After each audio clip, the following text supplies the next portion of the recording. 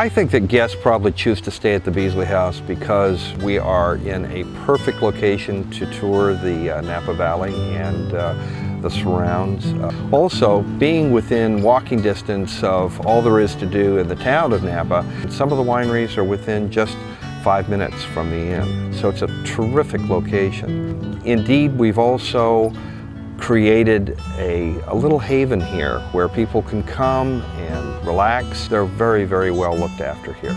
We try to make breakfast special for our guests and give them something they're not going to make for themselves at home.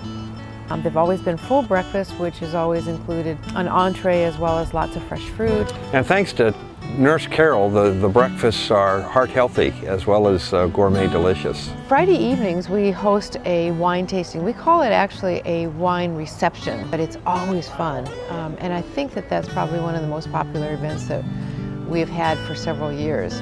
Something to look forward to. Along with being pet friendly, we have a couple of golden retrievers on the property. We have this little golden retriever called Tummy, who's a three-legged dog, and she is quite sure that everybody comes here just to see her. Thanks for visiting us here at the Beazley House, Napa's first bed and breakfast inn. We hope you'll come and stay with us and we'll help you make some memories.